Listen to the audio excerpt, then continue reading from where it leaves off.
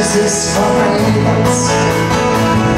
Liebe ist nicht mehr so groß, so viel, so viel Romanze. Es kommt mal an die Wünsche.